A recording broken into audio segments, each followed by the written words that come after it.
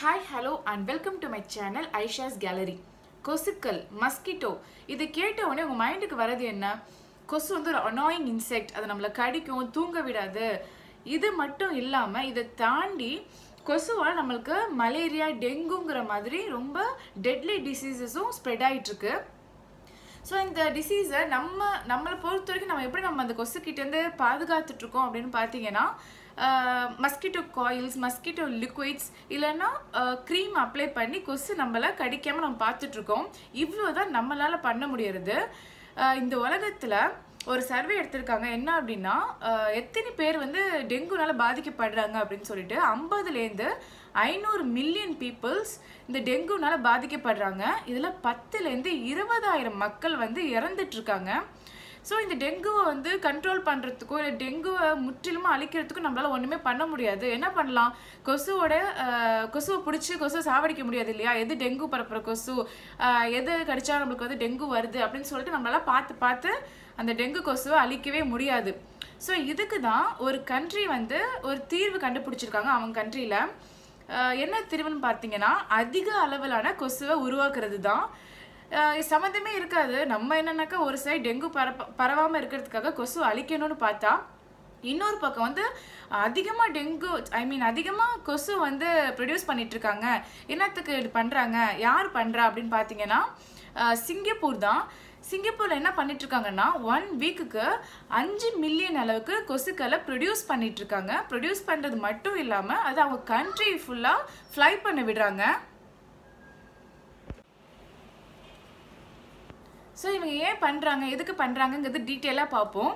சிங்கப்பூரை சேர்ந்த NEA national environment agency two thousand டென்லேருந்து ஒரு ரிசர்ச் பண்ணிகிட்ருக்காங்க அவங்க கண்ட்ரியில் எப்படி டெங்குவை கம்மி பண்ணுறதுங்கிறது தான் அந்த ரிசர்ச் அப்படி ரிசர்ச் பண்ணி டூ தௌசண்ட் டுவெல்ல ப்ராஜெக்ட் ஒல்பாக்கியா அப்படின்னு ஒன்று ஸ்டார்ட் பண்ணுறாங்க ஸோ இந்த ரிசர்ச்சர்ஸ் டீம் இந்த ப்ராஜெக்ட் ஒல்பாக்கியா அந்த டீம்கிட்ட போய் கேட்கும்போது அவங்க என்ன சொல்கிறாங்க அவங்க ப்ராஜெக்ட் என்ன அப்படின்னு எக்ஸ்பிளைன் பண்ணுறாங்க அப்படின்னா அவங்க சொல்கிறாங்க இந்த மாதிரி வந்து கொசுக்கள் அதிகமாக ஆகுறதுனால தான் டெங்கும் அதிகமாக பரவுது எல்லா மலேரியாங்கிற மாதிரி வியாதிலாம் வருது இல்லையா?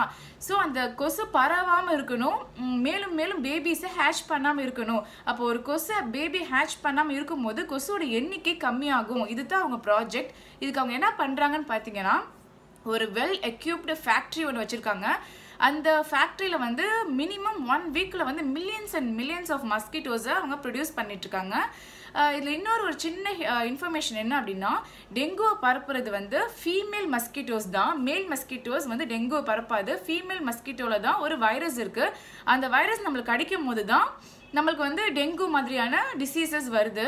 ஸோ இவங்க என்ன பண்ணுறாங்க அப்படின்னா இவங்க ஃபேக்ட்ரியில் மேல் மஸ்கிட்டோவை தான் ப்ரொடியூஸ் பண்ணிட்டு இருக்காங்க. ஸோ இந்த மேல் மஸ்கிட்டோ வந்து நம்மளை எந்த விதத்துலையும் கடிக்காது ஹார்ம் பண்ணாது. ஸோ இந்த மஸ்கிட்டோவை அவங்க வந்து ப்ரொடியூஸ் பண்ணி அவங்க கண்ட்ரி ஃபுல்லாக ஃப்ளை பண்ண விடுறாங்க. எல்லா இடத்துலையும் millions and millions of mosquitoes இந்த மஸ்கிட்டோ என்ன பண்ணும் அப்படின்னு பார்த்தீங்கன்னா இவங்க ப்ரொடியூஸ் பண்ணிட்டு இருக்க குட் மஸ்கிட்டோ ஒரு பேட் மஸ்கிட்டோ ஒரு ஃபீமேல் பேட் மஸ்கிட்டோ அதாவது டெங்கு பரப்பக்கூடிய இல்லைனாக்கா நார்மலாக ஃபீமேல் மஸ்கிட்டோ கிட்ட போய் கனெக்ட் பண்ணும்போது அந்த ஃபீமேல் மஸ்கிட்டோவால் பேபியை ஹேஷ் பண்ண முடியாது. அப்போ நோ பேபிஸ்னால் நோ மோர் மஸ்கிட்டோஸ் அப்போது மஸ்கிட்டோஸோட எண்ணிக்கை கொஞ்சம் கொஞ்சமாக குறைஞ்சிட்டு வரும். இவங்க கிரியேட் பண்ணுற அந்த மீன் ப்ரொடியூஸ் பண்ணுற மஸ்கிட்டோ என்ன அப்படின்னா கொஞ்ச நாள் தான் வேலிடிட்டி அது கொஞ்ச நாளுக்கு அப்புறம் இறந்து போயிடும். அது மட்டும் இறக்காம அது எந்த ஃபீமேல் மஸ்கிட்டோட கனெக்ட் பண்ணுதோ அந்த ஃபீமேல் மஸ்கிட்டோ இறந்து போயிடும். ஸோ கொஞ்ச நாளுக்கு அப்புறம் எல்லா மஸ்கிட்டோவும் அதிகமாக மஸ்கிட்டோஸ் வந்து கம்மி ஆகிட்டே வரும் இல்லையா? இதுதான் இவங்க ப்ராஜெக்ட் ஸோ இவங்க இந்த ப்ராஜெக்டை வந்து செஞ்சு இதை வந்து ஃபுல்லாக அவங்க கண்ட்ரி ஃபுல்லாக ஸ்ப்ரெட் பண்ணி பார்த்துருக்காங்க. இப்போ நம்ம ரிசல்ட் என்ன? ஓரளவுக்கு வந்து சிங்கப்பூர் கண்ட்ரோல்டாக இருக்குது அப்படின்னு சொல்லிட்டு ஒரு சர்வே பண்ணி பார்க்குறாங்க. அப்படி பார்க்கும்போது 90% பர்சன்ட் வந்து சிங்கப்பூரில் உள்ள பீப்புள்ஸ்க்கு வந்து டெங்கு அஃபெக்ட் பண்ணுறதுக்கான வாய்ப்புகள் கம்மியாயிடுச்சு. அவங்க ஸ்டார்ட் பண்ண ப்ராஜெக்டில் அவங்க சக்ஸஸ் பண்ணிட்டாங்க. 90% பர்சன்ட் வந்து ஒரு கண்ட்ரியில் வந்து டெங்கு ஒ- ஒழிச்சிருக்காங்கன்னா அது ஒரு பெரிய சாதனை தான். ஸோ சிங்கப்பூர் தான் ப்ரொடியூசர்ஸ் அண்ட் லவ்ஸ் மஸ்கிட்டோஸ் இப்போ தெரிஞ்சிருக்கும் ஏன் வந்து சிங்கப்பூருக்கு வந்து loves mosquitoes and producers mosquitoes அப்படின்னு சொல்லிட்டு. ஸோ அவங்க கண்ட்ரியை அவங்க வந்து 90% பர்சன்ட் அளவுக்கு டெங்கு இல்லாமல் சேஃப் பண்ணிட்டாங்க. நம்ம இந்தியாவும் இன்னும் கூடிய சீக்கிரத்தில் டெங்குலேருந்து முற்றிலுமாக விடுதலை பெறணும். ஸோ நான் எனக்கு தெரிஞ்ச இன்ஃபர்மேஷன்ஸ் எல்லாத்தையும் உங்ககிட்ட சொல்லிட்டு ஷேர் பண்ணிட்டேன். இதுக்கப்புறம் வேறு ஒரு நல்ல டாப்பிக்கில் மீட் பண்ணலாம். அது வரைக்கும் tata bye bye it's Aisha Nasrin from Aisha's gallery